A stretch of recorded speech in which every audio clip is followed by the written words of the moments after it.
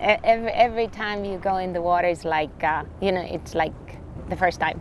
Especially when you see these animals and especially when you see these turtles. They are so incredible. They have been on Earth for billions of years and yet they are so, you know, so kind of naive. They don't care about you there and they swim. They're so calm, so quiet, so relaxed.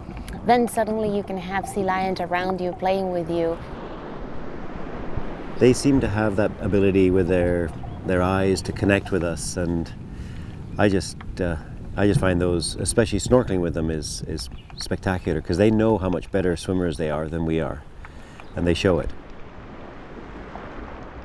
There had to be what 40, 50 turtles, and they're just there. They're just sitting there, and we we're observers, but we don't seem to be really um, impacting them, and it's magical.